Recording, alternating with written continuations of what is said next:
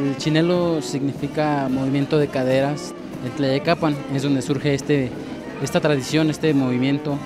Los indígenas, eh, cansados de la esclavización y todo, pues salieron a hacer burla de ellos, ¿sí? como se vestían en las fiestas, con mantas de una referencia de vestido.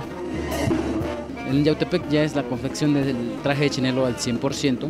Varían un poquito porque el trabajo es más dedicado, más lentejuela, más chaquira, es una pintura, es una obra de arte. Nosotros no somos una danza, no somos un baile, nosotros es un brinco de chinelo. Lo bailamos como lo sentimos, es nuestra pasión, es nuestra tradición y bueno, esto es, nuestro Morelos, esto es el chinelo.